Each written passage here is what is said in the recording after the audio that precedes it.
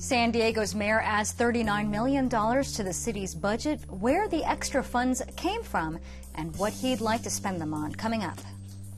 January, I'm considering suicide because I'm in so much pain. I'm asking for relief. The choice program is giving me an appointment in March.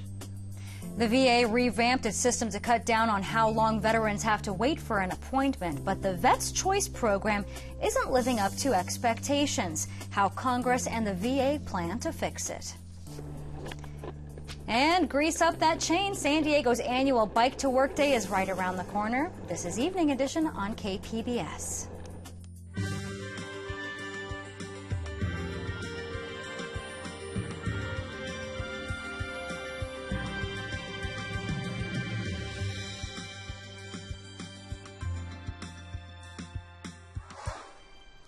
Good evening and thanks for joining us tonight. I'm Maya Trabulsi. San Diego Mayor Kevin Faulconer has released a revised version of his proposed $3.3 billion budget for the coming fiscal year. KPBS Metro reporter Andrew Bowen says the new spending plan is about $39 million bigger than the mayor's original budget proposed last month. The mayor announced his revised spending plan at the Bay Terrace Community Park in southeastern San Diego. Residents there say for years, city officials have promised them a senior center. The mayor is now proposing an extra $500,000 for that senior center's design.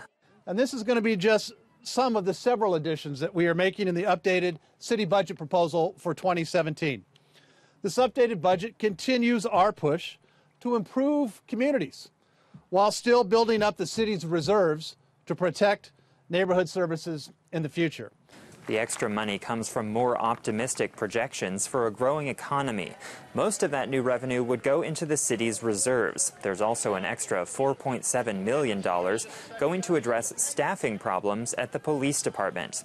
A city council committee will review the revised budget on Thursday. The council will cast a final vote on the budget in June. Andrew Bowen, KPBS News. Unfounded bomb threat prompted a security alert at Naval Base San Diego again today.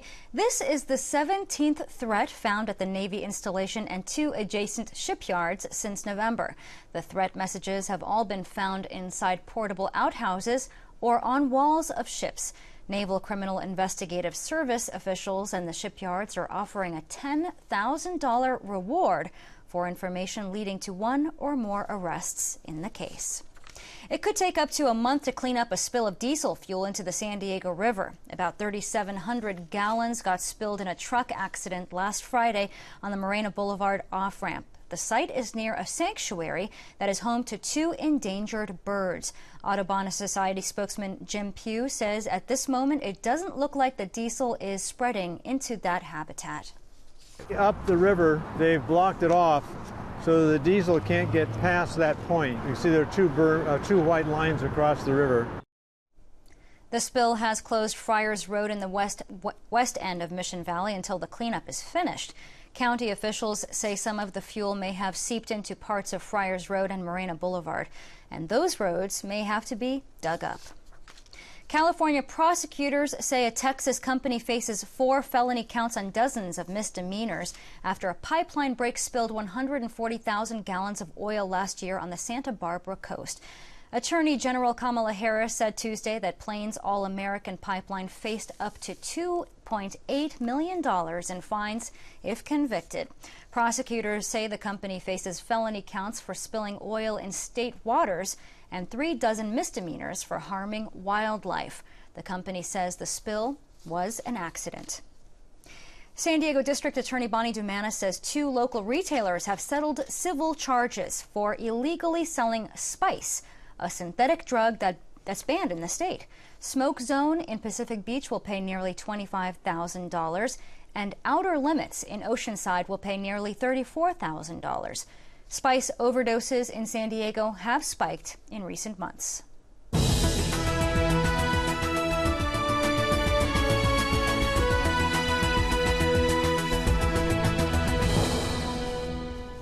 Democratic presidential frontrunner Hillary Clinton is looking to blunt the momentum of challenger Bernie Sanders as Democrats head to the polls in Kentucky and Oregon. Clinton enters today's primaries with a lead of nearly 300 pledged delegates. She's on track to clinch the nomination in early June, but is trying to avoid a trail of primary defeats that could expose weaknesses before she takes on Donald Trump. California State Treasurer John Chiang is stepping into the race for California governor. The Democrat says he's formed a campaign committee for the race that's more than two years away. He joins a potentially crowded field. Lieutenant Governor Gavin Newsom is running, and former Los Angeles Mayor Antonio Villaraigosa has expressed interest as well. Other potential contenders include former eBay executive and state controller Steve Westly, billionaire climate activist Tom Steyer, and current Los Angeles Mayor Eric Garcetti. The San Diego County Registrar of Voters office is looking for bilingual speakers for the upcoming primary election. The county needs poll workers for June 7th. Federal law requires the office to have bilingual speakers to help voters who primarily speak Spanish, Filipino, Vietnamese, and Chinese. But the county is also recruiting people who can speak Khmer, Japanese, Korean, and Hindi. Prospective poll workers can apply online at sdvote.com. California's penalty is back on the agenda for the state's Senate and the Assembly Public Safety Committees. The committees are debating two ballot initiatives one that aims to abolish the state's death penalty and replace it with life in prison with no chance of parole, and another that proposes keeping capital punishment with changes to speed up the process. Lawmakers are considering $150 million in savings for the death penalty is replaced with life in prison. The money saved would go into the general fund, so that would be additional resources that the legislature could then decide how to use those funds. And if the measure to abolish capital punishment passes by a vote of the people, it would apply retroactively to the 700 people currently waiting on death row. A new bill could open the door for California's HIV positive individuals to receive organ transplants from donors who are also HIV positive. Current state law bans those with HIV from donating their organs to those in need, but recent studies have deemed the procedure safe. Back in the 1990s, uh, we made it a felony for someone with HIV to donate an organ even if they're donating their organ to someone who's HIV positive. This bill seeks to lift that felony and that, that criminalization so that we can uh, help to relieve a, a portion of the organ pool. Now, proponents of the bill claim it could shorten the transplant waiting list for those without HIV and save 1,000 patients with HIV each year. The U.S. Senate has passed a $1.1 billion measure to combat the Zika virus in the next couple of years. The amount is nearly $1 billion less than what President Obama proposed three months ago. Zika is expected to spread more widely during the summer mosquito season, but officials say outbreaks in the U.S. are likely to be limited. To date, there have been more than 500 cases of Zika in the continental U.S., all of which so far have been associated with overseas travel. The U.S. government could use some help figuring out exactly what where mosquitoes that can spread Zika actually are. AP reporter Joshua Replogle says no experience is necessary for what the USDA envisions as a nationwide experiment in citizen science. In America's heartland, unlikely recruits in the fight against the Zika virus. Um, we're going to go ahead and get started. There might be a couple more people that trickle in here high school students tasked with keeping tabs on the local mosquito population, especially those that can carry the virus linked to birth defects. Anywhere from a half to a third full is probably good. Science teacher Noah Bush is participating with his students in the U.S. Department of Agriculture's pilot program to update the current official maps of where mosquito species swarm. Not only are they doing great science in my classroom, which is what I want, um, but they're also contributing to a greater cause. Plastic cups serve as homemade mosquito traps that students place across their school districts. I think it's amazing to be a part of. At first, I thought this was just like a school project, but it's more, much bigger than that. Once the eggs are collected, they are sent to a secured USDA facility where the AP was given exclusive access. These are the egg papers that the students have collected and sent to us. Here, The eggs are hatched for confirmation. These are mosquito larvae first. The data is added to an evolving mosquito map, which shows where disease spreading species exist. And these mosquitoes were used to examine the potential invasion. That's a female Aedes albopictus. Lee Cohnstaedt says the Invasive Mosquito Project will centralize the data to provide real-time information about hotspots to help researchers and mosquito controllers respond. With little money in state and local government budgets to track the spread of Zika, Cohnstaedt says the role of citizen scientists is important. And we need to be prepared. We need to understand the mosquito distributions, make maps, dynamic maps, that tell us where mosquitoes are found so we can estimate the risk to humans and animals and protect food security of the United States. So I'm okay with anywhere on this side of the building. Nearly 100 high schools in 10 states have begun contributing data. Cohnstaedt hopes to eventually have 20% of U.S. schools involved. Zika is coming in to the U.S. every day. The CDC says there are nearly 500 cases of Zika currently in the U.S., all travel related.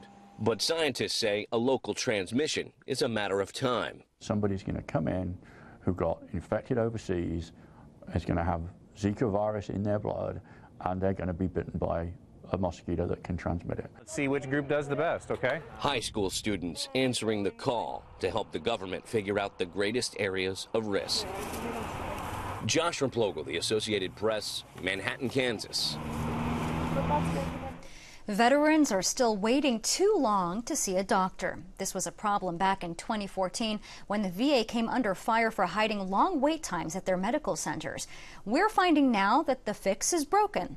KPBS is part of a collaboration with NPR and other member stations. Reporter Steve Walsh has been investigating the causes and has this report.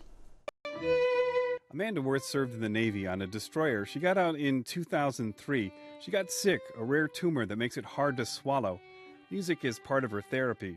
She goes to the VA in San Diego, but last fall, when she began having severe headaches, the VA didn't have an opening. I'm dealing with pain on a on a daily basis.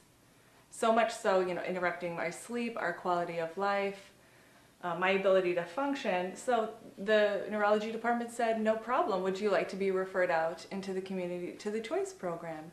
And my instant reaction was, yes, I'm so excited. Thank you. Too long a wait at the VA? Choice lets you see a private doctor. Except for Wertz, it didn't work. After six weeks of migraines and still no appointment, she got a letter from the Choice program. This is February 23rd for an appointment scheduled March 23rd. January, I'm considering suicide because I'm in so much pain. I'm asking for relief. The Choice program is giving me an appointment in March. Veterans Choice is broken. The reasons go back to the beginning how the VA implemented the Choice program and how it was designed in Congress. Ma'am, for information. ma'am, veterans died. Get us the answers, please. That's Chairman Jeff Miller, a Republican from Florida who heads the House Veterans Affairs Committee. He was grilling a VA official back in May of 2014 about the long wait times at VA medical facilities. I spoke with the chairman recently about what happened back then, and I was trying to get a sense of why he and others in Congress were in such a hurry. If you don't think, given the crisis that erupted in 2014, was the appropriate time to stand up a program like Choice, I don't know when you'd find a better time. So Congress moved quickly, maybe too quickly. Chairman Miller introduced the bill in the House on June 7th. By August 7, 2014, President Obama signed the Veterans Access Choice and Accountability Act. The new law gave the VA just 90 days and $10 billion to create a national program that would allow more vets to go outside the VA to see a doctor. On November 5th, 2014, the phone lines had to be open so veterans could begin scheduling appointments with doctors outside the VA. So the VA had 90 days. VA officials decided almost immediately that they didn't have enough resources to run the new program themselves. We couldn't. We didn't have the resources or the tools available to us to do that. So, after getting little response after hosting an industry day, the VA turned to two companies already doing similar work for the VA HealthNet and TriWest. The problem was, by the summer of 2014, the VA knew that both companies were struggling with their original contract called Patient Centered Community Care, or PC3. The VA's own Inspector General found pervasive dissatisfaction with the PC3 program at several VA hospitals. Eight sites limited their use of the PC3 program, and one facility stopped using TriWest for any services. The VA had to step in to find new doctors for some TriWest patients. 57 patients were symptomatic for potentially significant conditions such as cancer and needed priority scheduling. So, why give these companies the new $10 billion choice program?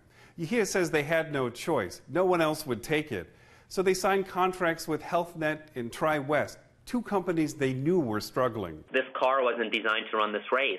Um, it had a very different purpose. It had a very different intention. In fact, the PC3 contract, when it was first rolled out, didn't even have primary care. It was only a specialty care contract. So it gives you the scope of this vehicle was not meant to deliver this this vast program. Less than a month later, Congress demanded the whole program be up and running, everything from doctors to call centers, including a call center in San Diego, which is where I first ran into TriWest. And I think everyone looked at it and went, oh my God, you expect us to build networks and to have all these processes in place, all these contact centers, be able to do all these things at a very, very abbreviated schedule. And I think a lot of people went, are you crazy? Frank Mac McGuire showed me around. He's the chief medical officer for TriWest. So yes, are we a little? Were we crazy? In hindsight, maybe yes, but we're also we felt like we are up to the challenge. All right. We just want to be given an opportunity to show that it's getting better and it's working. TriWest says it's got things figured out. They have a network of doctors that is now large enough to handle the load. They've worked closely with the VA to solve some of the customer service issues. But it may be too late. Congress and the VA are working right now to change the program dramatically. The VA might take over the customer service job from companies, meaning those new call centers might go away after more than $3 billion has already been spent. Steve Walsh, KPBS News. Support for military coverage is provided by the Patriots Connection, a program of the Rancho Santa Fe Foundation. Mexico's president wants to legalize same sex marriage in his country. Enrique Peña Nieto says he has already signed initiatives to make the change in the Mexican constitution. Same sex marriage is already legal in some parts of Mexico, but not all. Del Mar City Hall is on the move. City staff are getting ready to move out of the old brick schoolhouse that has served their city hall since the 1970s to make way for a multi-million dollar upgrade. KPBS North County Bureau reporter Allison St. John says the costs have escalated since the residents weighed in with a bigger vision. Del Mar staff are emptying shelves and packing boxes ready to move next month to temporary offices. The current City Hall will be torn down, and the plan is to build a new state of the art sustainable City Hall. There'll also be a public plaza, a new city TV station, and a town hall with roof beams designed to resemble the needles of the area's iconic Torrey pines. Del Mar City Councilman Don Mosier says this has been a long time coming. The city bought this as a temporary city hall in the 1970s. And the plan was to occupy it for a couple of years and then move to a new city hall. Currently, the Del Mar City Hall is housed in buildings built in the 1920s and the 1950s as school buildings. About two years ago, the Del Mar City Council started seriously considering a new city hall estimated to cost about $8 million. Now, after polling the residents, the project's become much more ambitious and is estimated to cost $16 million. The community is behind building a new city hall. Frankly, these old buildings are an embarrassment. Mosier says even though the project has doubled in price since its conception, the city can afford it. Del Mar is in very good financial shape, much better than most cities. And we have, uh, we're using about half of our financing capacity to, to fund this project. Del Mar has only about 4,000 residents. The median income is a little more than $100,000 a year. Mosier says the city has a healthy reserve of $4 million and will not have to raise the sales tax to cover the costs of borrowing for their new city hall. This has been going on for three years, and it's really exciting to get close to the final design and, and to get started on construction because uh, we've had a lot of public input throughout the process. Del Mar will put the project out to bid this summer, so the final cost is yet to be determined. Allison St. John, KPBS News. A San Diego area food company is rolling out a new type of organic label. The marketing technique aims to grow organic farms. Only a small fraction of U.S. farms are classified organic by the FDA. Kashi Foods hopes to change that with a label for farmers who are moving toward organic but aren't quite there. that period of time in transition, they are not getting paid the price for their, their ingredients or their, their farm products that they would get paid if they were certified organic by the USDA. Today, Kashi produces one cereal with the ingredients from farms moving to organic. The company plans to eventually use these ingredients with its other GMO free snacks. Overcast and chilly today in San Diego. Molly Cochran says a warming trend will bring some sunshine later this week. That's tonight on the KPBS Weather Report. Well, we have some unsettled weather found across the southwest, and that's going to stay that way through tonight. It's all associated with an area of low pressure in the upper levels of the atmosphere, sparking up some showers and some thunderstorms for Las Vegas and also north of the Phoenix area. But we'll notice mainly clear across California, back towards San Francisco, Fresno, and LA. And we're also going to be staying rather quiet into the overnight hours. So here's a closer look back home, and we we can just see mainly dry skies. Some of those showers uh, seen farther off to the north and east, and that's really how they're going to stay. Now, we still have a lower cloud base coming in late tonight and sticking around early Wednesday morning, so just a little bit of a marine layer hang, hanging out for the next couple mornings. But by tonight, we'll be relatively quiet, dry oceanside along the immediate coastline back towards Chula Vista with our overnight low of 57 degrees. Then some of those clouds start to creep in for the late overnight hours. Into the middle half of the week we go. This area of low pressure will continue to move on out of the southwest, and it's still very dry across California, even San Francisco, back towards LA, San Diego, even Las Vegas clearing out, and our temperatures are going to be a few degrees above average as we head into the middle half of the week. So let's have a look at our extended forecast first, starting with the immediate coastline.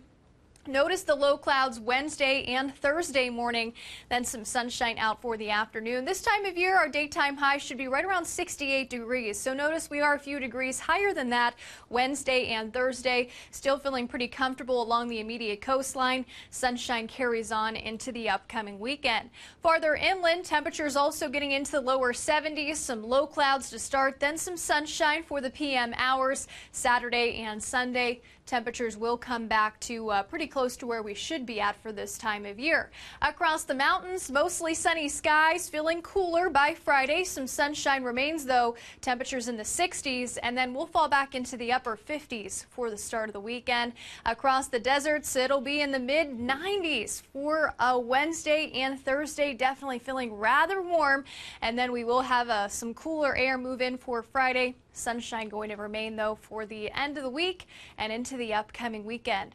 Molly Cochran, KPBS News. In a world full of choices, the choice to bike to work is becoming more and more encouraged. That's one of the goals behind the Climate Action Plan that aims to cut the number of car commuting San Diegans from 87% down to 50% by the year 2035 for people who live within a half mile of transit stops. Now, that would mean getting about 17% more people on their bikes. The San Diego Association of Governments rallied for Bike to Work Day today to encourage more people to opt for two less wheels and good old fashioned legwork. I think people let the logistical issues really create a barrier between them and actually committing to it. And when they realize how easy it is, you know, once you think through it and solve it at the beginning of the process, then it becomes so much easier and so much more enjoyable as a way to get to work. And Bike to Work is scheduled for this Friday. Sandag worked with community leaders, businesses, and public agencies to create 101 pit stops throughout the county for participants to pick up free goodies and lots of encouragement. I'm Judy Woodruff. In the next news hour, the growing harassment of Muslim American students in U.S. public schools. That's Tuesday on the PBS News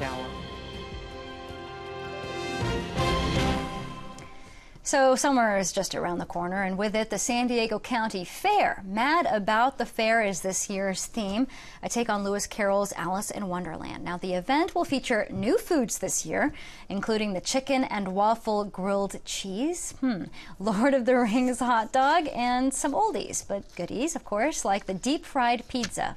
Yeah, the fair will be opening June 3rd and continuing through Monday, July 4th. And recapping tonight's top stories, Mayor Kevin Faulconer announced his revised spending plan today. The mayor is now proposing an extra 500,000 for the design of a senior center in southeastern San Diego. There's also an extra 4.7 million dollars going to address staffing problems at the police department.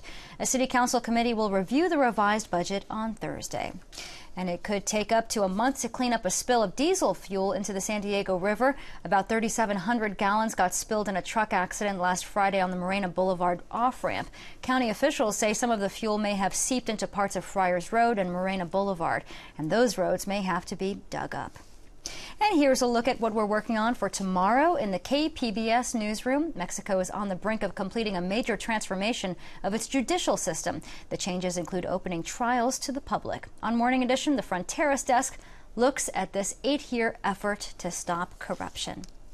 And then tomorrow at noon, join us for a live town hall meeting about the major stories this campaign season. is part of our California Counts election coverage, and you can join the conversation on Twitter with the hashtag CACounts.